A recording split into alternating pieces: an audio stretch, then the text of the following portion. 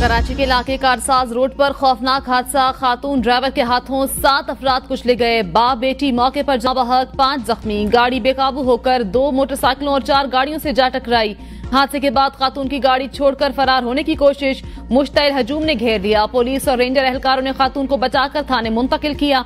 Police के मुताबिक खातून बरतानी driving licence holder खातून का तिबी मुआयना भी किया गया। एनी शाहिदीन के मुताबिक गाड़ी ने पहले मोटरसाइकिल सवारों को कुचला मुमकिन तौर पर फरार की कोशिश में खातून ड्राइवर ने रफ्तार मजीद बढ़ाई। तेज रफ्तारी से कार को भी जोरदार टक्कर मारी। जोरदार टक्कर से कार तबाह हो गई। गाड़ी में सवार नौजवान महफूज रहा। हादसे के बाद गाड़ी बेकाबू होकर उलट गई। गाड़ी बी वाले double zero double three private company के नाम रजिस्टर्ड है।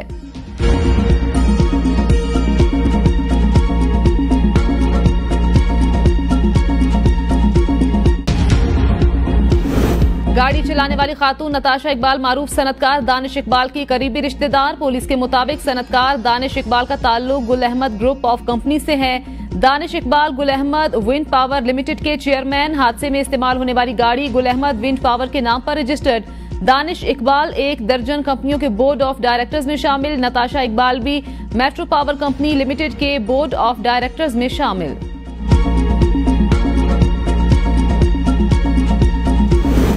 कारसाज रोड पर हादसे में जाँ बहक बूढ़ा बाप बेटी को कंपनी से घर लेकर जा रहा था। अहले खाना के मुताबिक मुतवफी साइकिल पर गली मोहल्ले में पापड़ फरोख्त करता था। लड़की ने वालिद को फ़ोन करके ऑफ़िस से ले जाने के लिए बुलाया। ऑफ़िस से बाइक पर बेटी को लेकर निकला तो गाड़ी ने कुचल डाला।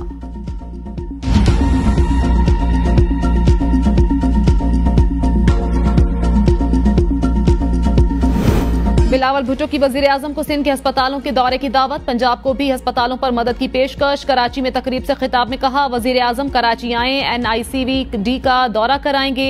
चाहते हैं लाहौर में भी J P M C, N I C H और N I C V D की तरह मुफ़्त इलाज हो। पंजाब की मदद के लिए मुराद अली शाह और अजरा पिचूह को भेजने के लिए तैयार हैं, ताकि लाहौर में भी कराची के अस्पतालों जैसी मुफ़्त इलाज की सहूलियात हों। जैसा इलाज सिंध में हो रहा है, ऐसा दुनिया में कहीं नहीं होता। हमारे अस्पताल गुड गवर्नेंस की मिसाल। कहा जाता है, हम मेगा प्रोजेक्ट नहीं लगाते। अल्फाज से ज़्यादा काम की अहमियत होती है, हम दावे नहीं काम करते हैं। जिना अस्पताल की बेहतरी आप सबके सामने। एनआईसीबीडी को दुनिया में दिल के सबसे बेहतरीन इलाज का नेटवर्क बना दिया। बिलावल भुट्टो की नाम लिए बगैर खैबर पख्तूनखा हुकूमत पर तनकीद। कहा, सेहत कार्ड के ज़रिए प्राइवेट इदारों को मुनाफा पहुंचाकर ये खुश होते हैं। हम आवाम को मुफ़्त और मयारी इलाज की सहूलत दे रहे हैं।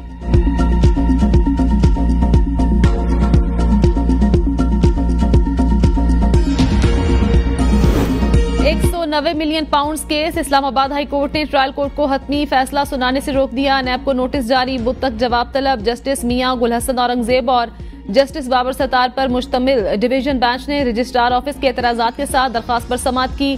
जस्टिस मियाँ गुल हसन औरंगज़ेब ने इस्तफसार किया, क्या रकम वापस मलिक रियाज और उनकी फैमिली के अकाउंट्स में चली गई? वकील सलमान सफदर ने कहा, रकम बराह रास्त सुप्रीम कोर्ट के रजिस्ट्रार के अकाउंट में भेजी गई। मलिक रियाज ने बानी पीटीआई को अलकादे ट्रस्ट बनाने के लिए ज़मीन दी। अदालत ने इस्तफसार किया कि आज यूनिवर्सिटी कहाँ है? वकील सलमान सफदर ने बताया, यूनिवर्सिटी जेहलम के करीब और फंक्शनल है। घोस्ट प्रोजेक्ट नहीं। चार सौ अठावन कनाल ज़मीन पहले मलिक रियाज की मलकियत थी। अब यूनिवर्सिटी ट्रस्ट के नाम है। अदालत ने इस्तफसार किया, क्या ट्रस्ट रजिस्टर्ड है? वकील ने बताया, जी, रजिस्टर्ड ट्रस्ट है। अदालत ने रिमार्क्स दिए, हमारे पास केस है, ये रजिस्टर्ड नहीं। सलमान सफदर ने जवाब दिया, मालूम करके आइंदा समात पर अदालत को बताऊँगा।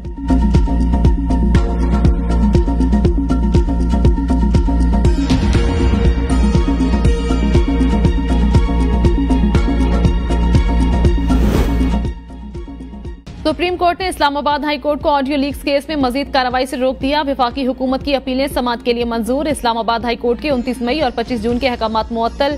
बुशरा बीबी और नजमो साकिब को नोटिस जारी। सुप्रीम कोर्ट ने कहा, इस्लामाबाद हाई कोर्ट का 29 मई और 25 जून का हुक्म इख्तियार से तजावुज। इस्लामाबाद हाई कोर्ट के पास अज खुद नोटिस लेने का इख्तियार ही नहीं। दो रुकनी बेंच ने ऑडियो लीक्स केस का रिकॉर्ड भी तलब कर लिया। जस्टिस अमीनुद्दीन खान ने इस्तफसार किया। क्या हाईकोर्ट ने यह तायुन किया? ऑडियो कौन रिकॉर्ड कर रहा है?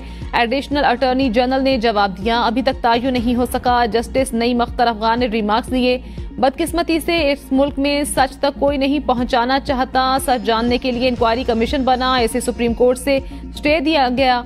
सुप्रीम कोर्ट में आज तक दोबारा ऑडियो लीक्स केस मुकर्र ही नहीं हुआ। पार्लिमान ने सच जानने की कोशिश की तो उसे भी रोक दिया गया। ना पार्लिमान को काम करने दिया जाएगा, ना अदालत को तो सच कैसे सामने आएगा?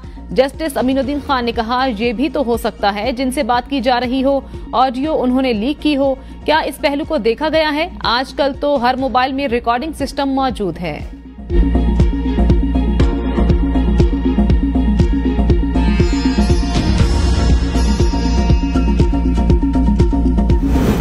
पंजाब की जानब से बिजली बिलों में रियायत का ऐलान। मुल्की सियासत में हलचल। पीपल्स पार्टी की नून लीग पर तनकीद। नून लीग के जवाबी वार। वज़ीर अला सिंध मुराद अली शाह ने बिलों में रियायत के ऐलान को बेवकूफाना फैसला करार दे दिया। अता तारड़ की दीगर जमातों से मरियम नवाज़ के फैसले को सराहने और तकलीद करने की अपील सईद गनी कहते हैं। इस्लामाबाद और पंजाब के बिजली सारिफिन को सिर्फ़ दो माह के लिए रिलीफ देने का फ़ायदा नहीं। वज़ीर इत्तलात पंजाब अजमा बुखारी ने जवाब दिया। मरियम नवाज़ ने अपने सूबे के फंड से अपने आवाम को रिलीफ दिया। आप हसद ना करें, हिम्मत करें और सिंध के आवाम को रिलीफ दें।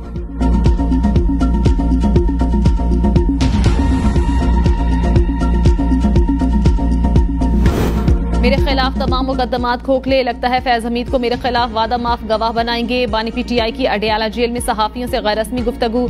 कहा, मैं किसी और कमांडर को नहीं जानता था। बाजवा ने बताया, फैज सबसे काबिल जनरल है। इनके इकदाम से अवाम पीटीआई के साथ मजीद जुड़ रहे हैं। बुशरा बीबी के हवाले से शर्मनाक बातें की जा रही हैं। इल्ज़ाम लगाया जा रहा है। वो फैज हमीद से मालूम लेती थी। फैज हमीद की गिरफ्तारी का ड्रामा मेरा मुकदमा मिलिट्री कोर्ट ले जाने के लिए किया जा रहा है। मुल्क बना मल, बनाना रिपब्लिक बन चुका जहाँ इंसाफ नहीं मिल रहा ये खुद ही जज और ज्यूरी बन गए। पकड़कर फैसला कर देते हैं। जो साजिश करता है वो जुडिशल कमीशन का मुतालबा नहीं करता। रिजीम चेंज हमारे खिलाफ हुआ और मुझे ही जेल में डाल दिया गया।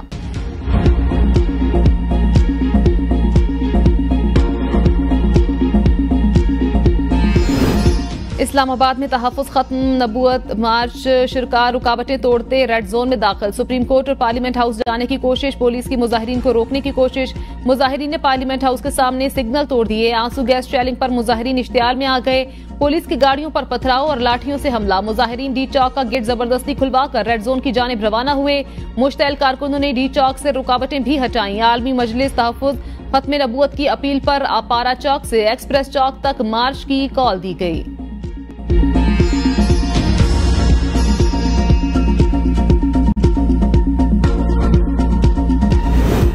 भर की तरह सिंध में भी मानसून का ताकतवर स्पेल। हर तरफ़ पानी ही पानी, सैलाब से सैकड़ों मकानात और फ़सलें तबाह। नशेबी इलाकों में कई की फिट पानी जमा। नशेबी इलाके जेरियाब सखर में 116 मिलीमीटर बारिश ने शहर को डबो दिया।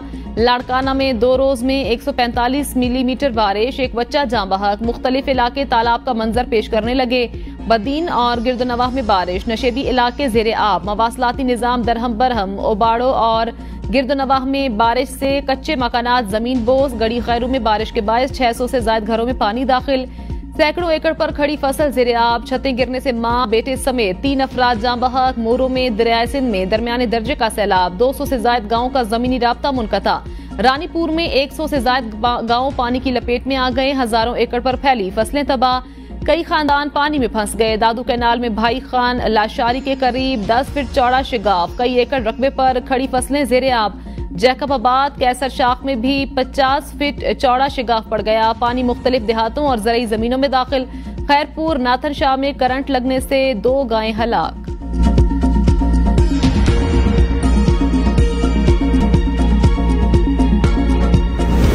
लाहौर के मुख्तलिफ़ इलाकों में मूसलाधार बारिश, बिजली का तरसीरी निज़ाम, मुतासर शहर की सड़कें, नदी नालों का मंजर पेश करने लगी। Abbott road, Lakshmi Chowk, Davis road, mall road पर खूब बादल बरसे।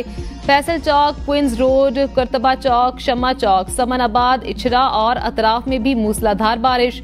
M A O college, Sanda, Islampura, Bund road, Gulshan Ravi में बारिश से जल थल एक हो गया।